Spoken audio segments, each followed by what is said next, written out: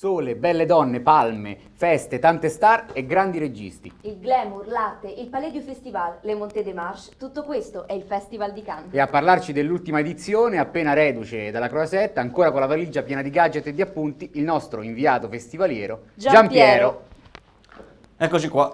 Eccoci qua Giampiero.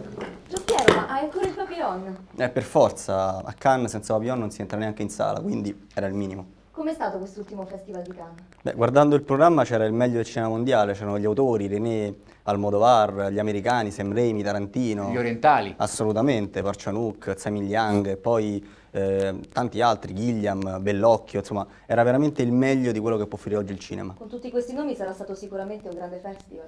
Beh, non sempre grandi nomi significa grandi film, ci sono state delle sorprese e delle delusioni, come in tutti i festival. E quali sono i film che ti hanno sorpreso? Ma su tutti Ang Lee.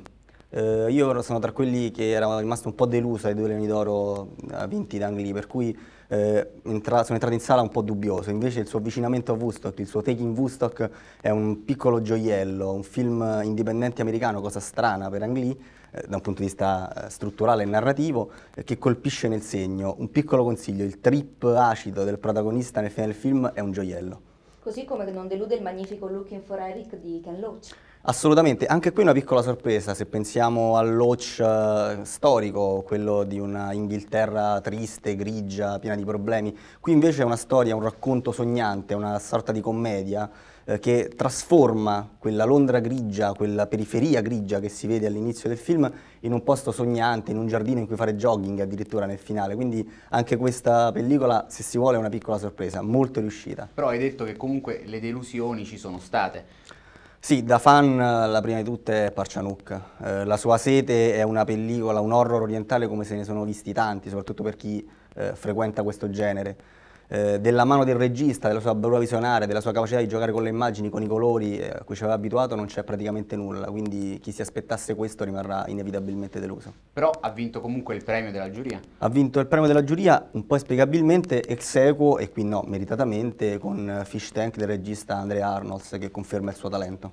Ecco appunto, parliamo un po' dei premi, il palmarès. Cominciamo ovviamente con la meritatissima Palma d'Oro a Michael Haneke eh, per il suo The White Ribbon, mm, Palma d'Oro che lui aveva sfiorato già in precedenza in altre edizioni del festival e che quest'anno raggiunge con un film molto intenso e molto difficile.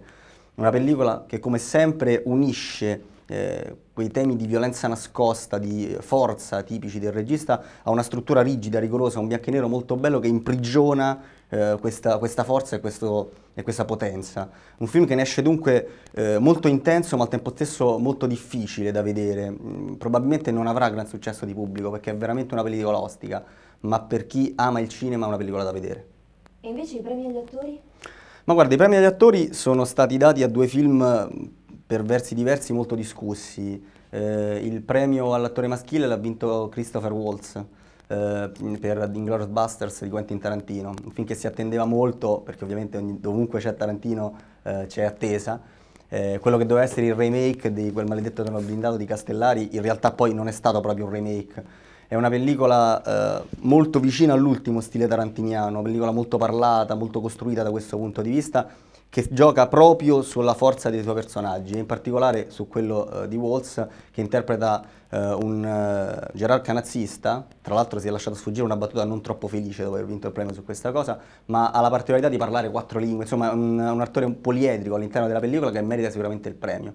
L'attrice femminile invece è stata Charlotte Gainsbourg per il film di Von Trier Antichrist, probabilmente il film più discusso.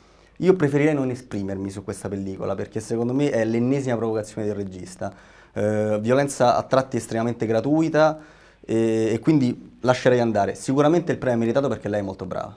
Un altro premio meritato è quello al film di Jacques Diara, Un Prophet, che fino all'ultimo momento era dato come Palma d'Oro. Come probabile Palma d'Oro. Insieme, insieme anche a... al film di Gianno Lì, L'Origine. Esattamente. Erano dati forse anche per uh, l'amore dei francesi per i propri film come possibili vincitori della Palma d'Oro. Beh, il film di Odiare è un film particolare perché unisce a una struttura, un'idea di genere che è quella di un prison movie, un'introspezione, una costruzione dei personaggi molto particolare. Gioca sul rapporto tra fuga e evasione, visto non tanto come fuga e evasione dal carcere nello tipico stile di questo genere, ma come un modo per continuare l'attività eh, del criminale anche nel momento in cui questo è prigioniero. Un film molto particolare e molto interessante. Eh, per quanto riguarda poi gli altri premi, eh, ci sono due premi abbastanza incomprensibili, ovvero regia e sceneggiatura, perché la regia è stata vinta da Brillante Mendoza per Chinatai, che mm, è un film eh, che lascia abbastanza allibiti. Eh, fermo restando che, che, Mendoza resta uno dei più importanti registi filippini attualmente in circolazione e che ha un, caratteristiche molto precise. Eh, film abbastanza rarefatti, quasi fermi e al tempo stesso molto violenti. Ciò non toglie che sembra molto discutibile la decisione, soprattutto vedendo che cosa poteva offrire quest'anno nel concorso. La sceneggiatura è stata vinta da Spring Fever di Liu Jie, che è un film cinese, anche questo non particolarmente rilevante sia da un punto di vista di scrittura che di film. Eh, Beh, a questo punto la sceneggiatura poteva andare al film di Ken Loach. Assolutamente. Cioè, se uno deve, dovesse scegliere tra, tra, le due pellicole, quella di Ken Loach è scritta in un modo molto più divertente e molto più costruito, se si vuole. L'intreccio della pellicola di, di Loach, l'intreccio di Laverty è meraviglioso. Per cui cosa ci aspettiamo dal prossimo Cannes? Che Ma, cambiamenti? Non so, perché Cannes è sempre una sorpresa. Negli ultimi anni ha ha avuto dei, dei, programmi molto pieni di nomi, eh, grandi registi, spesso grandi film eh, e quindi io mi attendo un'altra edizione di Cannes sempre molto ricca.